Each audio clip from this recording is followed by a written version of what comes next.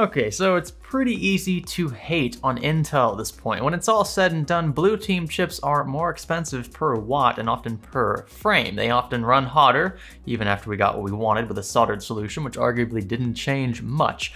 All I can speak for today is this little guy right here, the Intel Core i9 9900K. Its 8 cores and 16 threads may look formidable on paper, and indeed this is the best gaming CPU on the market, but only barely. And you know what else looks formidable on paper?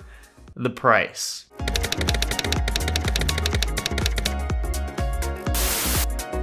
So regardless of where Intel sees itself... Whoops. And conveniently, this video is sponsored by Blue Apron. If you're looking for farm fresh ingredients to be delivered directly to your doorstep in exact proportions, look no further. Blue Apron boxes are packaged safely and securely to ensure your food arrives fresh, and you can cook everything to spec in 40 minutes or less thanks to included recipe guides. Trust me, if I can do this, you can too. Fellas, if you're looking to surprise that special someone after a long day of PC building, Blue Apron is your ultimate cheat sheet, let me tell you firsthand. Keep it classy with Blue Apron and sign up today using the link below. By the way, the first 50 people to sign up will save 50 bucks for the first two meals. Okay, so here we go. Regardless of where Intel sees itself in a year or two with respect to the 10 nanometer strife, the fact of the matter is that we've been recycling the same generic architecture for, uh, how many generations now? And this, by the way, is by no means meant to be an affirmation or form of affirmation for the red team. I can appreciate AMD's value proposition. I have several videos talking about this, but it should under no circumstance justify a wholehearted devotion to said company. All you'll end up doing is turning future AMD into the current Intel, and nobody wants that, so cut the fanboy crap. Okay, today I put together a Z390 system capable of handling an all-core 5 GHz or roughly 5 GHz overclock for our Core i9-9900K. Our motherboard of choice is the Gigabyte Z390 Designare, a SKU targeted at content creators thanks to its large array of ports and features. Plus, it's a sexy board, and I like sexy boards. At 5 GHz, the CPU reached toasty 100 degrees at the hottest core and 100 degrees at the package. This is T-junction, in case you didn't know that beforehand, which means these temps likely would have gone much higher higher had the CPU not heavily throttled itself. And this is with a 360mm AIO, mind you. So the best I could do was run a manual overclock across all cores to 4.9 GHz with a manual V-core of 1.29. Still a great solution for gaming, but a testament to how hot these chips run, and mine is obviously a pretty crappy sample. This thing doesn't seem to benefit much at all from the switch to solder, although we do expect the temps to jump a little bit because we're packing two more cores at around the same frequency inside a very similar package. So yeah, the switch to solder really doesn't seem to benefit the CPU much at all. I mean, this could be a poor solder job or it could be poor solder composition, maybe both but we just know that the CPU runs hot. Also, at full throttle in this config in Prime 95, the 9900K pulled roughly 215 watts through the 8-pin EPS, almost fully saturating that cable. So manual overclocks to 5 GHz likely push a single 8-pin out of spec, which explains why the Z390 Designare boasts an additional 4-pin CPU power connection. This dwarfs, by the way, the 8700K's power draw with the same workload and frequency. These extra two cores are very difficult for Intel to manage, and again, such a small package at the same high frequency that Intel's used to running these chips at.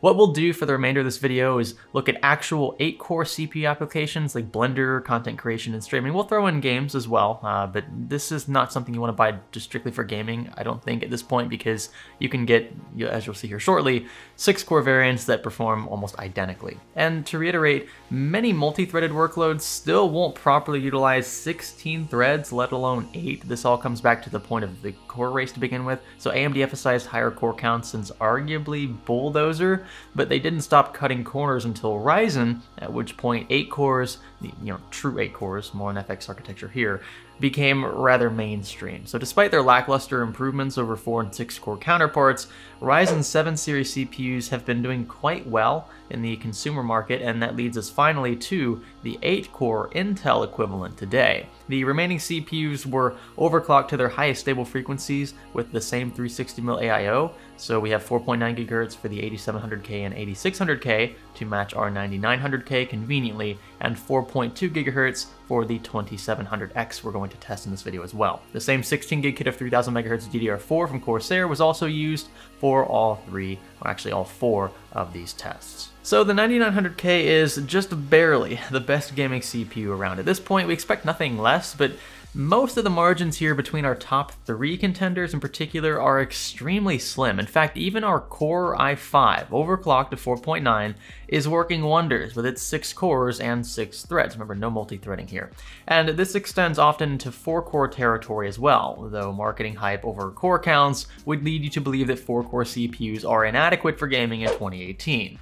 To be completely honest, if I shoved an i5 7400 into the mix, which I did for a couple of games, the step down in frame rate is typically very gradual. Now sure, there are exceptions, it's easy to point out the exceptions, right? But I can count on one hand the number of games today that appropriately utilize more than four cores, and that's saying something. So games today still largely leverage frequency and IPC, and in the case of GTA 5, optimization in general is probably a stronger factor, I would say, than anything else, although this does lean slightly in favor of Intel. I think we get a better representation overall of what to expect in most games. Now, where we start to see this fall apart is in the streaming department. See, while hosting a 5 megabit per second stream, which is pretty conservative, with an X264 encoder, which stresses the CPU, the staircase widens out just a bit. But while the 9900K does a significantly better job than, say, the Core i5, the 8700K and 2700X still hold own. In fact, you'd be hard pressed to tell the difference between any of these CPUs while streaming and gaming simultaneously,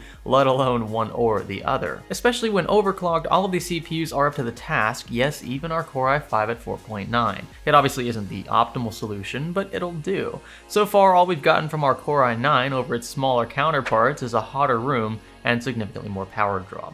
I said this in a previous video, but I need to be extremely impressed with at least one aspect of these tests for the 9900K in order to recommend it at its current selling price of around 550 bucks, assuming it's even in stock for that price. So let's try rendering then. Adobe Premiere isn't the best program, admittedly, to run in the sense that it doesn't properly utilize much past around six threads, but it's the program that I use on a near daily basis for video editing and rendering. The Adobe Suite, though painfully frustrating at times, is great at what it does, and that's why it is so popular.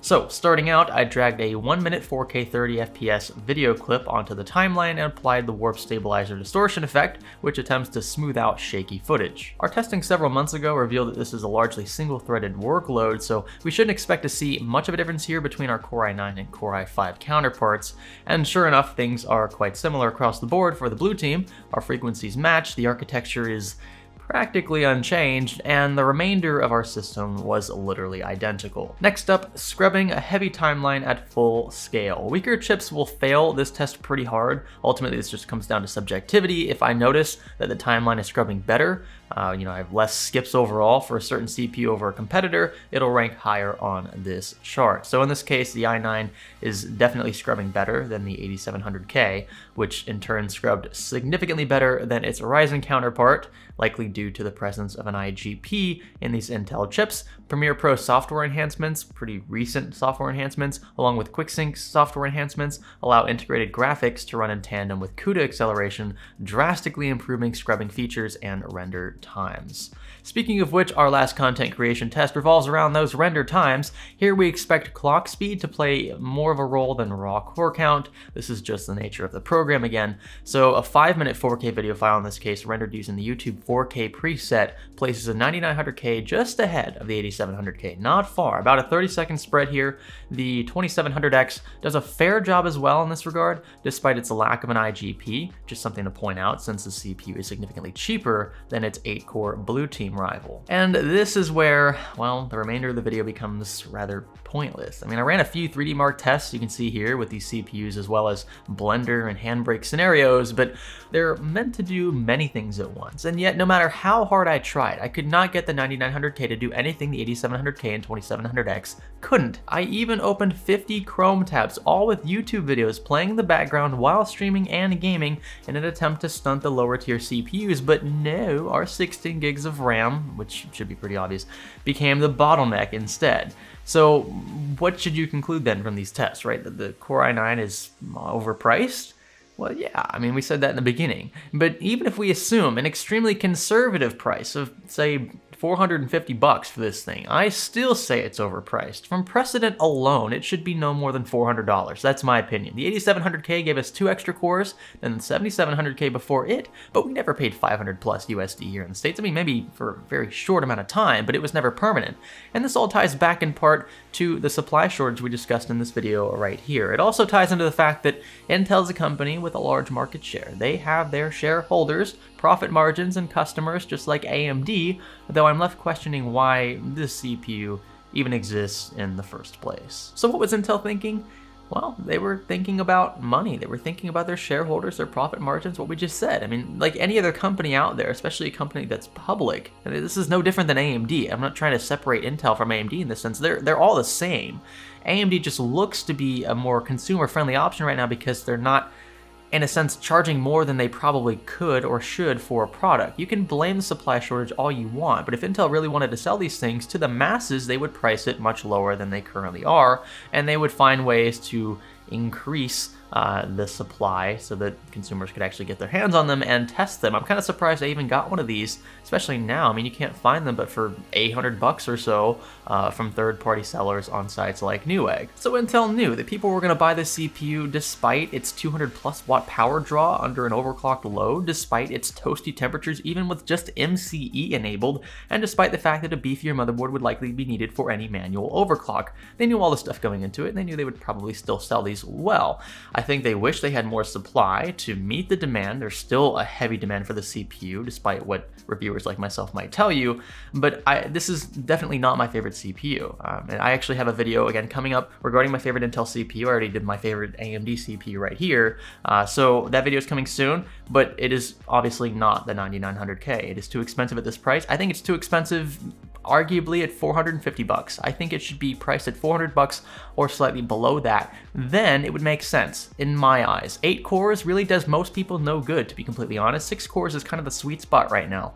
Uh, so the 8700K is what I would recommend, or the 8086K, whichever one is cheaper. They've again been fluctuating due in part to the supply shortage. Uh, but in a nutshell, my conclusion is this, don't buy the 9900K. Buy something that's a little more reasonable for the average user, for the typical consumer. Eight cores, again, I think it ties a lot into the marketing hype. We promoted eight cores with Ryzen, but it was cheaper. It was significantly cheaper than 550 bucks right now, again, for a small percentage in, in frame rate bumps over the 8700K, which was already the gaming king. So that's my conclusion. I kind of went off script there, but I wanted to give you guys a little bit of a heart to heart at the end of this one uh, because you should definitely be smart with your money in this case. And it's easy to say, oh, I want the best of the best of the 9900K is what I'm to buy. But you could be a lot smarter with your purchase and see next to no difference at all by choosing to forego the 9900K uh, for the 8700K, let's say, or even the 8600K, or the 2700X, or the 2700, or even the 2600. There are so many options out there, uh, and frankly, a lot of them are much better purchase choices, uh, purchase decisions than the 9900K. Okay, I'll stop rambling now. Let me know what you guys think in the comments below. Give this video a thumbs up if you thought it was cool. Dislike it for the complete opposite feeling, or if you hate everything about life, you guys can click that red subscribe button down below, by the way. That's what it's for. And I'll catch you in the next one. This is Science Studio. Thanks for benchmarking with us.